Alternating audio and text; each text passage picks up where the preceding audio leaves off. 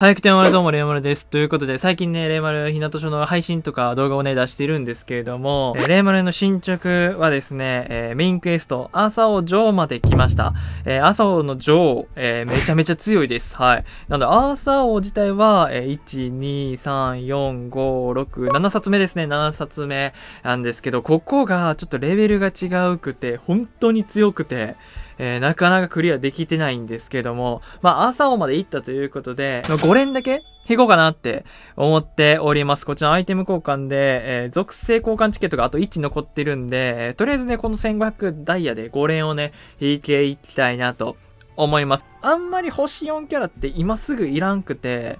やっぱパーティーの強さ、しっかりと星3でもいいんで、星3のキャラを強くすることが今本当に重要だと思います。絶対ね、今後ね、ガチャで新しいキャラとか、えー、ジョブが出てくると思うんで、今無理やりね、えー、星4狙う必要はもうほぼほぼないと。えー、レイマルは思ってるんですけども、まあ、こんな感じで、このベミホとかひなのの星さんのキャラクターをしっかりと覚醒させて、この真ん中のひよたみたいに40に刺すことが、まあ重要なんかなとも思ってたりも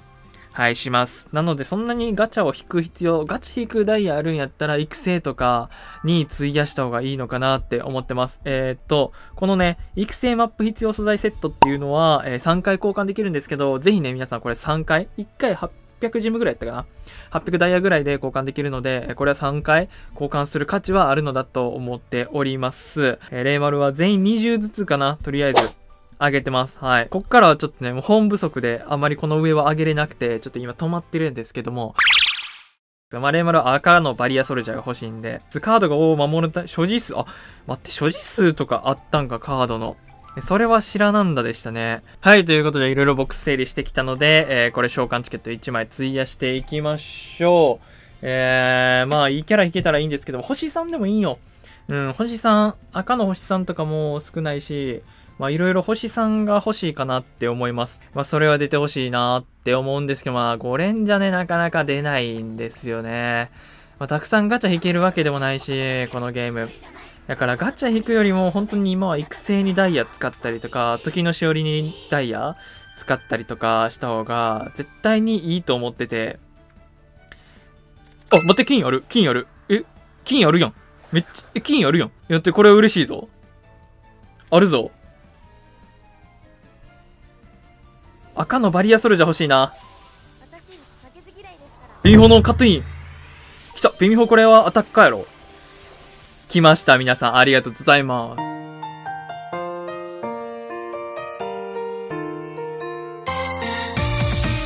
ストライカー持ってなかったよね、星4で。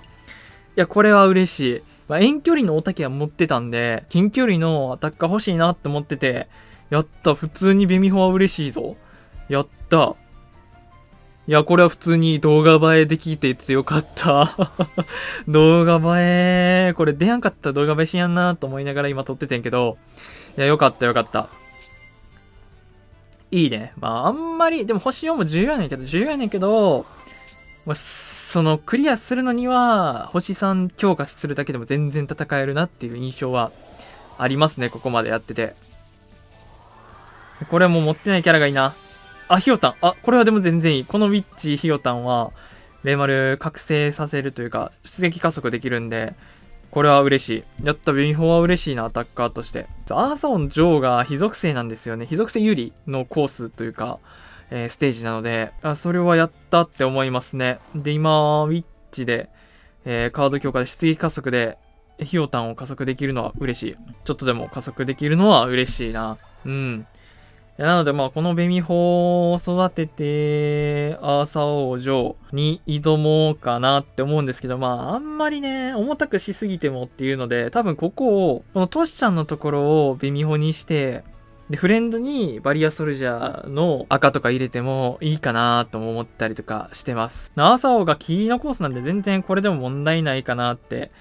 思ってます。まあ、ここベミホ、いや、かわいい、こんな感じになるか、一旦アーサー王行ってみるね。いや、本当に、あの、めちゃめちゃしんどいんで、アーサー王から。いや、僕はビビってます。モンスターの数も違うし、攻撃力も違うし、全然もう人手不足すぎて こっち側が。こっち側が人手不足になるんで、まあ、超難しいね。大体レイマルは初手でステップ2か3ぐらいまで上げて、ステップ3の時に人が出てこやんかった？モンスターが出てこやんかったら4までやってますね。で、ここで一旦バリアソルジャー出したいんで、えー、トシちゃんとセルにバリアソルジャー貯めて、で、トシちゃんが、えー、まあ、粘ってくれてるうちに次の敵を出そうかなっていう感じかな。だいたいステップ5でちょっと止まってるって感じでもある。で、これ貯めて、まだ全然トシちゃんが耐えれそうなんで、こうもう一回貯めてもいいかなって思います。で、ここで、ひよたんとか出しといて、って感じかな。あ、今これ、雷の、あの、霹靂一戦持ってきてる理由は、ノックバックさせたいからですね。うん、このコースガンガン攻めてくるんで、まあ、ノックバックしびれ要素の敵を、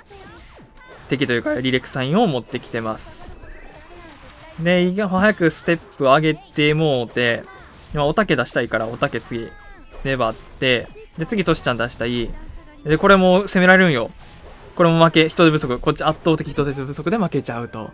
だから、結構ね、しんどくなってくるんで、このベミホとかヒナノとかをしっかりとレベル上げて育てないと、やっぱ無理かなって思います。火力が足りてない。シンプルに。うん。なので、まあ、星4じゃなくても、星3で全然育てちゃって、全然覚醒させていいと思います。まあ、ちょっとね、この日向ファイターと、あの、みんなが手に入る日向ファイターと、ガチャで手に入るファイターって、あの、ファイターの方が強いよ、こっちの。